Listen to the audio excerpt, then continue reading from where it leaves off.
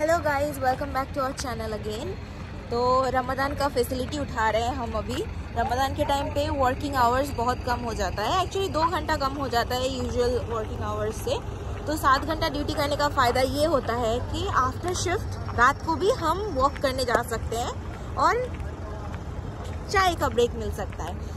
तो इसीलिए हम चल पड़े चाय पीने। आज हम नज़दीकी वाले कैफेटेरिया से चाय नहीं पी रहे थोड़ा दूर जा रहे हैं वॉक कर, करते हुए।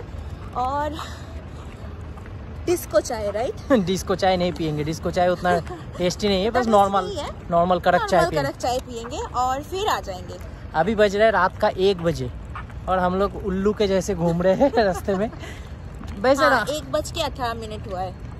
एक्चुअली रमादान चल रहा है ना तो रास्ते में काफ़ी लोग रहते हैं। मतलब सुबह सुहूर जो होता है सुबह का जो खाना होता है इन लोगों का आ, वो खाने तक लोग जगे ही रहते हैं ऑलमोस्ट तो उसको सुहूर करने के बाद ही सब सब लोग सोते हैं। तो फुल नाइट रमदान के टाइम में आपको हर जगह में लोग देखने को मिल जाएगा।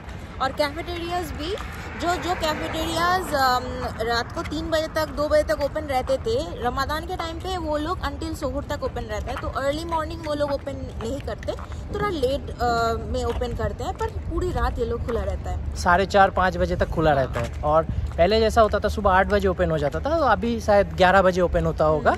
पर लेट नाइट तक ओपन रहता है।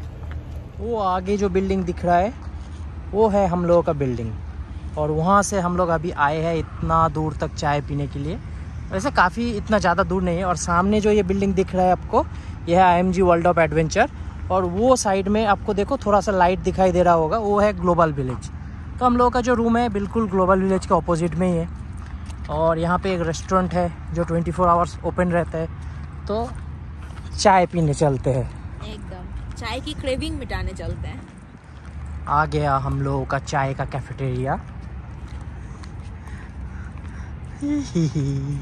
भाग रहे चाय पीने के लिए।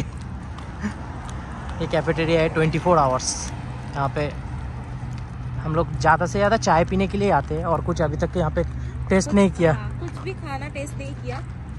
वो समोसा हो या फिर कुछ भी हो हमने कुछ भी ट्राई नहीं किया एक्सेप्ट হুম এগারোটা বারোটা বেজে যাবে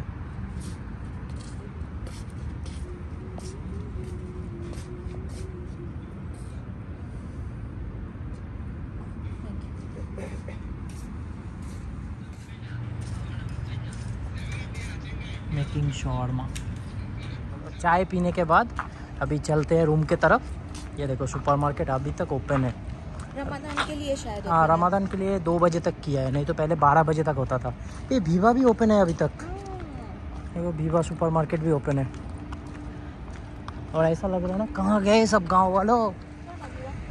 कहाँ गए सब गाँव वालों? सबके सब मर गए क्या? चलो भीवा काम कुछ नहीं है ऐसे ही जाके चक्कर लगा के आते हैं ना। चक्कर लगाने में क्या होता है? ये ग्रैंडियस सुपरमार्केट थोड़ा एक्सपेंसिव सुपरमार्केट है। और ये जो भीवा वाला सुपरमार्केट है ये गरीबों का सुपरमार्केट है। तो हम लोग जा रहे हैं गरीबों का सुपरमार्केट में। हमें यही शूट करता है। और भाई लोग बंद हो चुका है सुपरमार्केट एक बजे तक है टाइमिंग पर इतना लाइट अभी तक जला के रखा है तो हमने सोचा कि अभी अभी तक तक ओपन है। पर टाइमिंग एक बजे तक था और अभी टाइम हो चुका है वन फोर्टी फाइव तो हम लोग कुछ वैसे तो लेना नहीं था। ऐसे ही घूमने जा रहे थे। बस अभी रूम के तरफ़ चलते हैं फिर।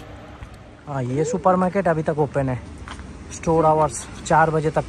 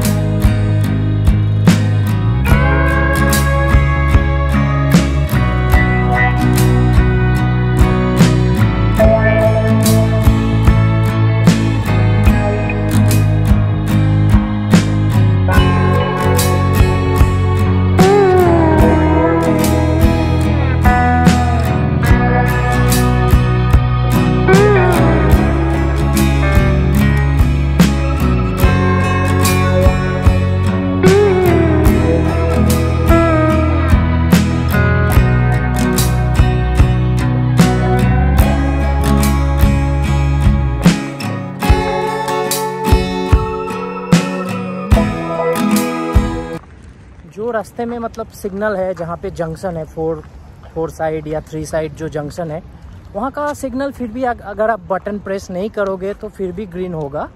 कहीं कहीं जगह में सिर्फ़ रोड क्रॉस क्रॉस करने के लिए जेबरा क्रॉसिंग होता है और वहाँ पे सिग्नल होता है।